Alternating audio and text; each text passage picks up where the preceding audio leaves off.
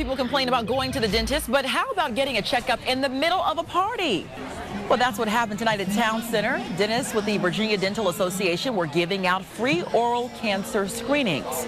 People just sat on the chair and got checked.